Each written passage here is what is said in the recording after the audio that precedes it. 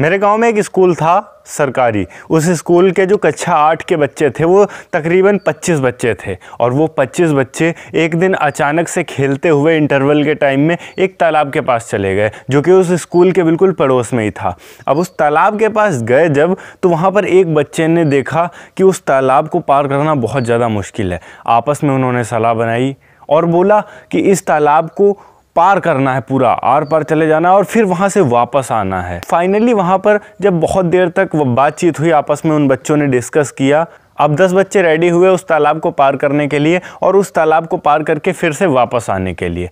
दस बच्चों ने तालाब में छलांग लगा दी अचानक से। अब जब वो तालाब में छलांग लगा दिए हैं, बाहर जितने लोग बच्चे हैं, वो लोग बोल रहे हैं कि इस तालाब में भूत रहता है। वो क्या करता है कि बच्चों के पैर पकड़ के अपनी तरफ़ खींच लेता है, तुम्हें डुबो कर मार डालेगा। कुछ लोग बोल रहे हैं कि ये तालाब इतना ज़्यादा गहरा है कि इसमें डूब के मर जाओगे। कुछ लोग बाहर से बोल रहे हैं कि इसमें जो कांच के टुकड़े हैं, वो बहुत सारे पड़े हुए हैं। ऐसे में क्या होगा कि वो जब तुम इसमें कूदोगे, आगे बढ़ोगे तो ये कांच तुम्हारे गड़ेंगे और तुम्हारे पैर बिल्कुल छिदते चले जाएँगे एक लाइन से। कुछ बोल रहे हैं कि इसमें बहुत बड़ी बड़ी मछलियाँ हैं और वो मछलियाँ जो हैं, छोटे बच्चों को खा जाती हैं, काट लेती हैं। अभी अंदर घुसे हो देखना घायल हो जाओगे। कुछ ये बोल रहे हैं कि इसमें जो बहुत सारे हैं, तुम थोड़ा सा जब चलना शुरू करोगे, आगे बढ़ोगे, तुम्हारे चिपक जाएँगे, तुम्हारा सारा का सारा खून चूस लेंगे, तुम इसी में मर जाओगे। ये सारी बातें सुन सुनकर सुन सुनकर नौ बच्चे बीच में ही वापस आ गए, हार मानकर बाहर निकल कर तुरंत खड़े हो गए कि भाई कहीं कांटा ना गड़ जाए, कहीं भूत ना खींच ले, कहीं मछली ना काट ले, कहीं जोंक ना चिपक जाए, ये सारी चीज़ें सुन सुनकर। एक बच्चा जो था उसको लोग चिल्ला चिल्ला कर बोलते रहे बोलते रहे, मत जाओ मत जाओ मत जाओ, इसमें ये सारी चीज़ें हैं। वो चलता चला गया, चलता चला गया दूसरे साइड और फिर दूसरे साइड से वापस भी आ गया। जब वो वापस आकर बाहर निकल के सबके सामने खड़ा हुआ तो सब लोगों ने उसे बड़ी गौर से देखा और जानना चाहा कि क्यों?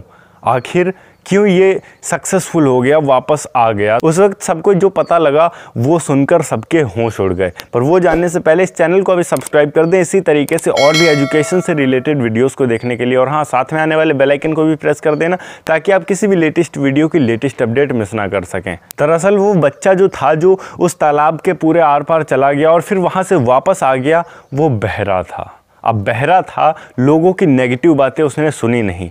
यही होता है हमारी ज़िंदगी में, सीधी बात है कि लोग कहते रहते हैं, ये पॉसिबल नहीं, ये पॉसिबल नहीं, और हम सुन के मानते रहते हैं। अगर हम कान बंद करके बहरे बन जाए, उन लोगों की नेगेटिव बातें सुने ही ना तो हम जीत सकते हैं बहुत ही ज़्यादा आसानी से। ज़्यादा नहीं, बस इतना सा दिमाग लगा लो कि जो बोलता है वो बोलता रहेगा, और जो करने वाला है वो करता चला जाएगा। मतलब हाथी चले बाज़ार, कुत्ते भौके हज़ार वाली हालत कर दो, आप, आपको जो नेगेटिव बातें सुनाते हैं, ये ऐसे लोग होते हैं जो ना तो खुद कुछ कर सकते हैं और ना दूसरों को कुछ करते हुए देखना चाहते हैं। ओके गाइस ये थी एक छोटी सी वीडियो जिससे आशा है कि कुछ सीखने को ज़रूर मिला होगा। अगर वीडियो अच्छी लगी हो तो इंस्टाग्राम पर फॉलो ज़रूर कर लीजिएगा लिंक आपको डिस्क्रिप्शन में मिल जाएगा। वरना आप इंस्टाग्राम पर जाकर सर्च भी कर सकते हैं Anoop Singh underscore A S के वीडियो अच्छी लगी हो तो वीडियो को लाइक करके चैनल को सब्सक्राइब ज़रूर कर देना। मैं मिलता हूँ आपको नेक्स्ट वीडियो में एक नए टॉपिक के साथ, तब तक के लिए जय हिंद। винним атером.